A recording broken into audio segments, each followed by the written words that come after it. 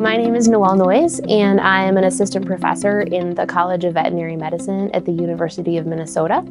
And I sort of live in the Department of Veterinary Population Medicine, and so we look at how diseases um, act within populations of animals and then also between animals and humans.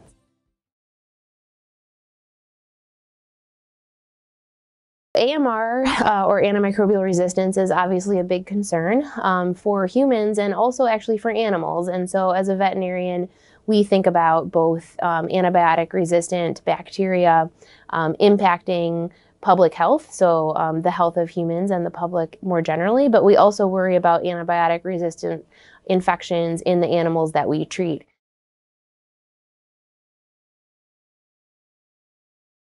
Veterinarians do a lot to try to combat antibiotic resistance simply by trying to keep animals healthy.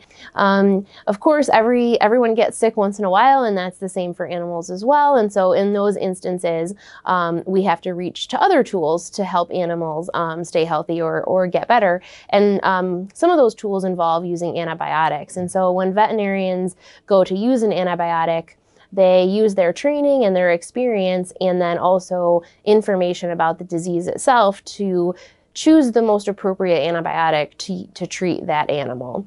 Um, and so that's the second tool we have is using antibiotics appropriately at the right time um, for the right purpose. And then beyond that, um, another major strategy that we have as veterinarians um, and as also as farmers is to um, do our best to prevent the transmission of bacteria and potentially antibiotic resistant bacteria through the food chain. And there have been programs in place to prevent that transmission for decades in the US. Uh, and those include things like really important food safety measures that occur um, before food is sent out to the grocery store, and then also once the food is in the grocery store. So, those are three areas where veterinarians play a big role probably the most important area um, where we can combat antibiotic resistance is actually um, at least antibiotic resistance transmission from animals to humans is actually in the home.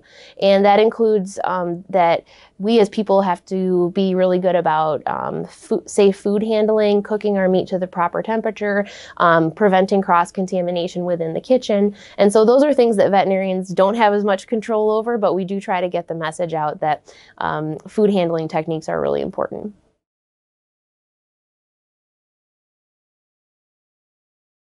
As with anything, uh, the system's not perfect all the time, right? So we we still experience um, antibiotic resistant um, infections in both animals and in people, and so we always need to be using the latest technologies and um, the latest science uh, to help us improve the system um, on a continuous basis. And that's a lot of what um, veterinary researchers such as myself try to work on um, is trying to identify those latest and greatest technologies that can help us combat antibiotic resistance. And that uh, is challenging because, of course, there's just um, limited funds to drive that type of science. And so I think one of the major barriers um, right now facing the animal agriculture industry is just a lack of funds for scientific discovery.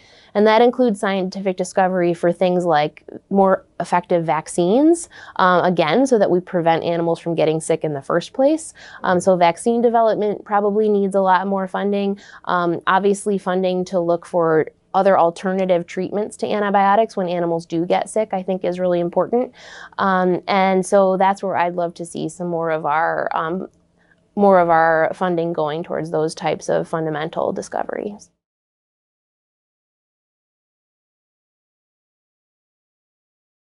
One thing that we don't think about um, is that our our pets, our dogs and cats and other animals that we may have in our household, um, they also get sick. Um, and so as a, as a pet owner, um, you may start thinking, well, what does it mean if my pet's on antibiotics? Do I need to be worried? And I think that the main thing to think about is just sort of the, the very basic things that we talk about, like hand washing, um, making sure that you're using the antibiotic in the way that it was prescribed by the veterinarian, and making sure that you go back to your veterinarian and, and get your animal checked up after they've been on antibiotics to make sure that the infection is under control um, and that you used the drugs in the appropriate way and that your pet doesn't need a different or further treatment.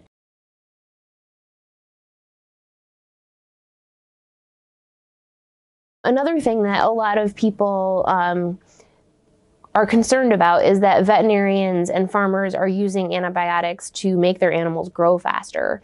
Uh, and that's sort that's what we call growth promotion use of antibiotics, and that practice um, has actually um, been banned in the United States for several years now.